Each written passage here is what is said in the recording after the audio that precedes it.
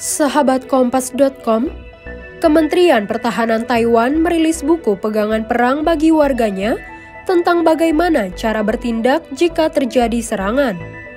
Buku tersebut dirilis Taipei karena invasi Rusia ke Ukraina menimbulkan kekhawatiran akan serangan China di Taiwan.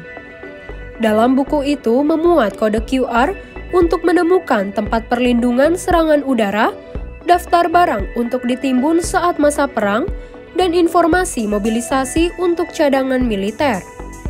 Direktur Divisi Material Badan Mobilisasi Pertahanan Semesta, Liu Tai mengatakan, buku pegangan perang tersebut mensimulasikan situasi masa perang dan memandu publik dalam berbagai skenario.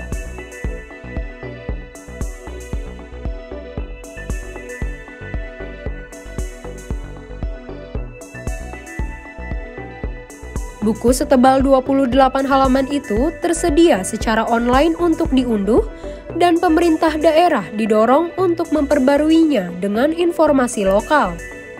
Sebelumnya pada Desember 2021, pemerintahan Presiden Taiwan Tsai Ing-wen meluncurkan badan mobilisasi untuk meningkatkan ketahanan terhadap ancaman keamanan nasional. Hal itu dilakukan ketika China meningkatkan tekanan militer diplomatik, dan ekonominya ke Taiwan. Tahun lalu, Beijing menggandakan pengerahan militernya ke zona identifikasi pertahanan udara Taiwan menjadi sekitar 950.